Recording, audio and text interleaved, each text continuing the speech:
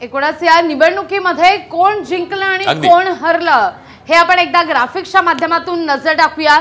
नेमकं कोण कोण विजयी झालेलं आहे?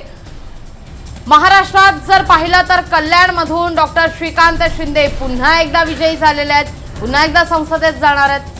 दुसरी जागा जर आपण बघितली तर ठाण्यामधनं राजन विचारे शिवसेनेचे आहेत त्यांनी पुन्हा एकदा विजय मिळवलेला आहे. तर महाराष्ट्र उत्तर मुंबई मतदारसंघ गोपाळ शेट्टी विजयी झालेले आहेत. ग्लॅमरस लढत होती. आणि मुंबई उत्तर पश्चिम मधून गजानन कीर्तीकर यांनी बाजी मारलेली आहे. तर मनोज कोटक ईशान्य मुंबई शेवटी शेवटी अगदी ही जागा घोषित करण्यात. आलेली होती. आणि या ठिकाणी मात्र दांडगा जनसंपर्क असलेले मनोज कोटक विजयी झाल्याचं दिसतंय.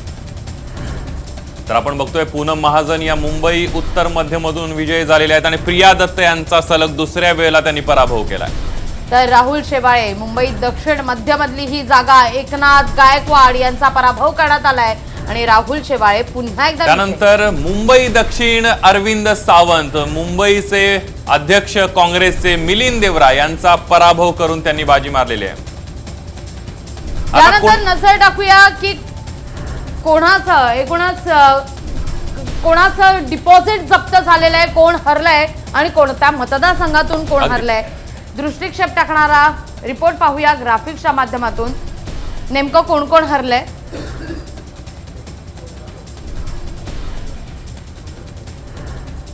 आपण बघतोय राहुल गांधी यांचा अमेठीमधून पराभव झालेला आहे. देशातला सगळ्यात मोठा धक्कादायक हा निकाल लागलेला आपल्याला पाहायला मिळते. कारण मागच्या वेळेला मोठ्या फरकानं स्मृती इराणींचा पराभव केला होता राहुल तर.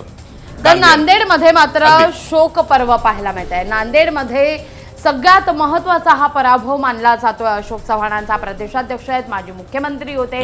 पण आता मात्र. नांदेडमध्ये पराभवाचा सामना अशोक चव्हाणांना करावा तर दुसरा महाराष्ट्रातला धक्कादायक निकाल म्हणजे माजी मुख्यमंत्री आणि माजी केंद्रीय गृहमंत्री सुशील कुमार शिंदे यांचा पराभव झालेला आहे. जय सिद्धेश्वर स्वामी यांनी त्यांचा पराभव केलेला आहे. तर वंचितचे प्रकाश आंबेडकर हे तिसऱ्या स्थानावर पेकले गेलेत. निश्चित. इथे वंचित फॅक्टरनं एक. वेगळंच चित्र निर्माण केलं.